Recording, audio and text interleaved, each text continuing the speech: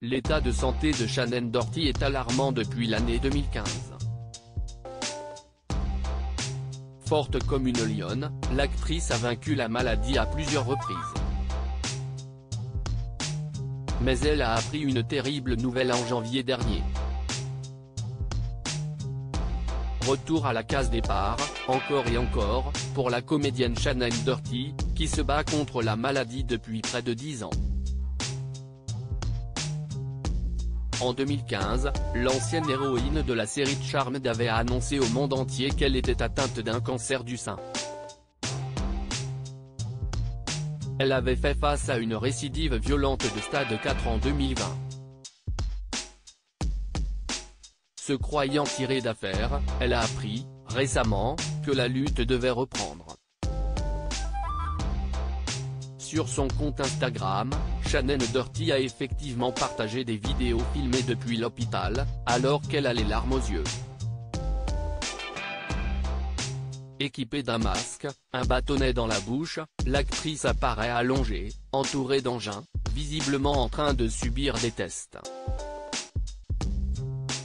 Le 5 janvier, mon scanner CT a montré que j'avais des métastases au niveau du cerveau, explique-t-elle. Le 12 janvier, la première séance de radiothérapie a eu lieu. Ma peur est évidente. Je suis extrêmement claustrophobe et beaucoup de choses se passent en ce moment dans ma vie. J'ai de la chance d'être entouré par d'excellents docteurs, et les incroyables techniciens du Cedars Sinai. Mais cette peur. Cette tourmente. Timing. Si est à ça que ressemble le cancer? Shannon Doherty en instance de divorce son cancer du sein, qui semblait être parfaitement sous contrôle, s'est donc étendu jusqu'au cerveau.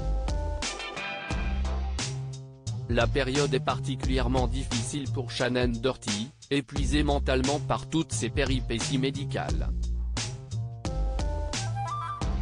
La comédienne peut évidemment compter sur son entourage. Mais côté cœur, rien ne va plus. En avril 2023, on apprenait effectivement qu'elle était en instance de divorce, et se séparait donc de Curtis Warrenco après 11 ans de mariage. Si est-il la dernière chose qu'elle souhaitait, déclarait alors son agent, Leslie Sloan.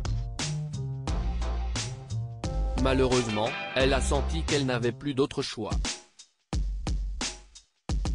Les seules personnes qui méritent d'être dans votre vie sont celles qui vous traitent avec amour, gentillesse et respect, assurait-elle, de son côté, sur les réseaux sociaux.